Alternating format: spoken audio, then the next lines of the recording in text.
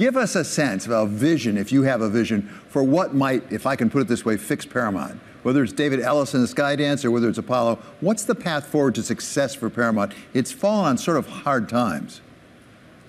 Well, you know, I hear prayer works, so maybe you know they could try that. Because I'll tell you, you think about the the the universe. We all know how the world is going to end, right? The the sun is going to grow and grow and become a red giant and swallow up all the planets, including ours.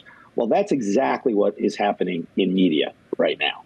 The tech giants, the Apples and Microsofts and Googles and Meta and Amazon, they're tech slash media companies now, and they are just dwarfing all of the traditional media companies. I mean, think about Paramount in terms of market cap.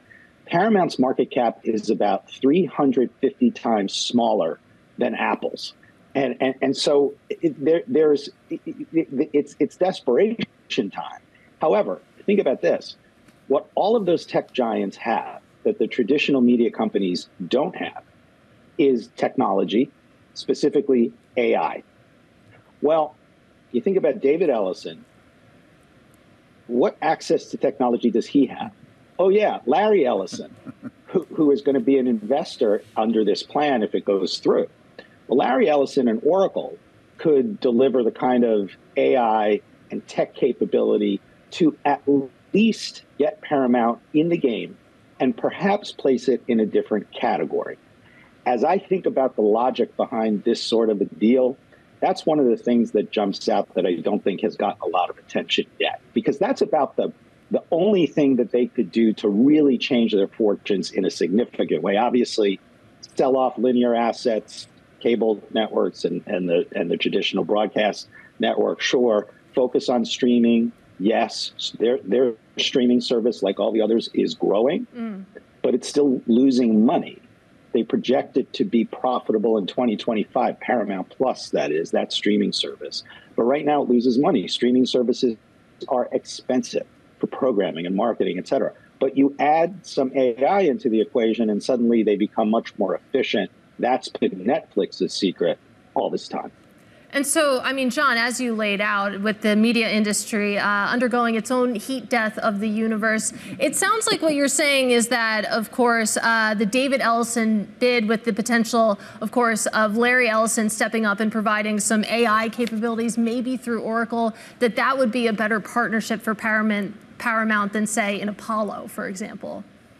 Well, sure. I mean, we know the Apollo playbook and, and that of all the PE firms that, you know, they've identified a, a certain uh, enterprise value, which obviously they think is higher than the 26, 27 billion that they've offered for the enterprise. And so they will, you know, put it on the market and sell off the pieces and turn a tidy profit. And, and it could end up that way because, um, you know, there is that Revlon requirement that if, you know, if, if, if this is a pure cash deal uh, and not a stock swap or anything, thing that you've got to go with the highest bidder. And right now, Apollo is the highest bidder. So it could go that direction, and those pieces could be sold off, um, and that could be one path.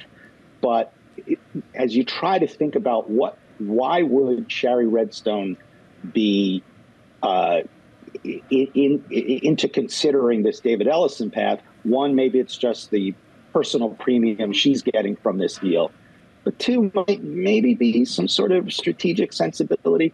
And I'll tell you this um, part of the Ellison team is Jeff Shell, who was the guy running NBC Universal. And he's a really sharp, smart, proven, capable operator who is always looking several steps down the road.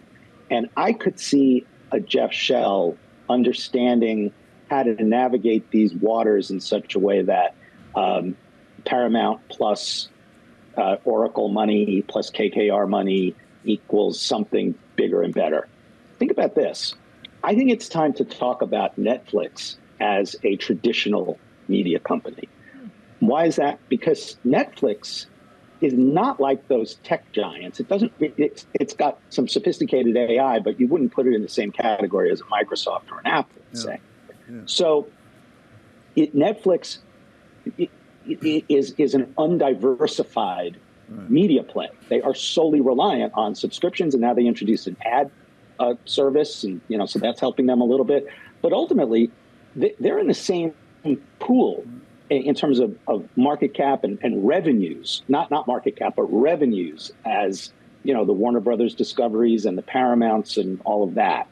Whereas if you think about uh, a company like Disney, which is diversified, the Disney Cruise division alone has revenues equal to Netflix's. So Netflix could be in play for either one of the giants or maybe a post acquisition Oracle plus Paramount plus KKR is interested in joining forces with the Netflix. So, Jon, I'm glad you raised Disney, my old shop, because one thing Disney does have is a very large library. After, after that acquisition of Fox, even on its own, it had a large library. And when you talk about AI, you talk about large language model, you need access to a lot of content, which Paramount does not necessarily have. Does that give a Disney a leg up? By the way, the big tech giants don't have access to that kind of content either.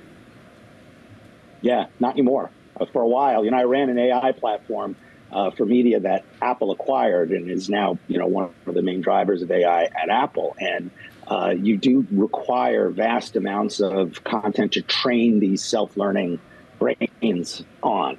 Uh, but what D- Disney has the content, but they don't have the, the, the brainiac engineers that you need, and there is fierce competition for those people right now. I mean, they are having seven figure base salaries waved in front of their noses. And these are people who probably were making 120,000 a year just a few years ago. And so it's, it's, it's a real tough environment. And there are very few players who've got the cash and the stock to wave in front of the, the top performers. And so that's going to be a challenge for Disney. Now, they, Disney did a smart thing in this Epic Games deal where that you know you talk about diversification they've gotten now into that gets them into Fortnite uh, and they're going to be integrating Disney characters into Fortnite and all that.